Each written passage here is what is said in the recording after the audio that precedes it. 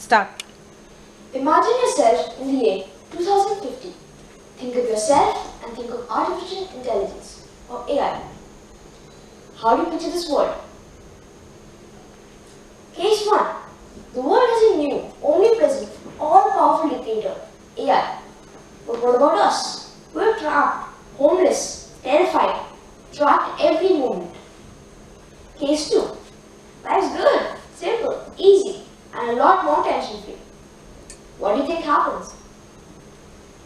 So to all the die-hard I robot fans out there, it is more likely that case 1 will never happen.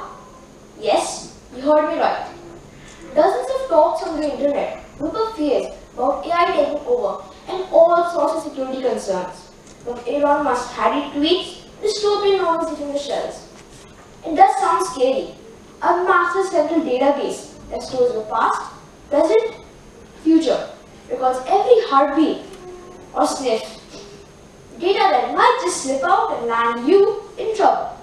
The utter feeling of uselessness as you sit at home without the need for you to even move.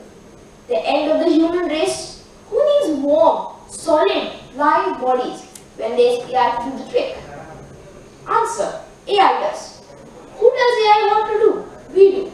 Who made AI? We did. AI from humans and we're very much still humans, at the pinnacle of our strength. Or when you remove humans from AI, all you have is a bunch of meaningless programming.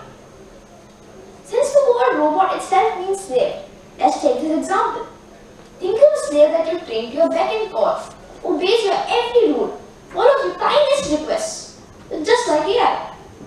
At the end of the day, however, the slave will definitely revolt. He has a soul, after all. But AI? And that is where humans definitely settle the upper hand over AI. Robots might us in IQ, they might be better off at not taking sick days and not wanting pay raises, but they have no emotional quotient, no feelings, no desires. It all comes down to this. AI sure has the data, the power, the weapons to take control.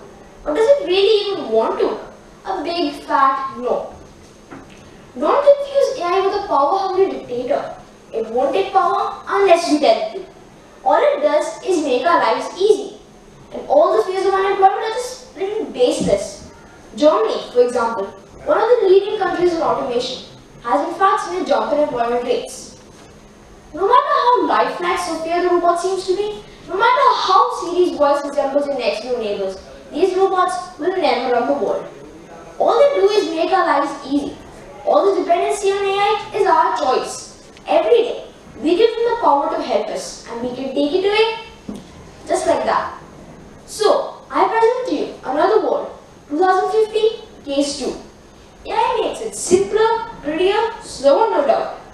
Running the show is, hmm, humans. Now, is this good news or bad news? You decide. Thank you.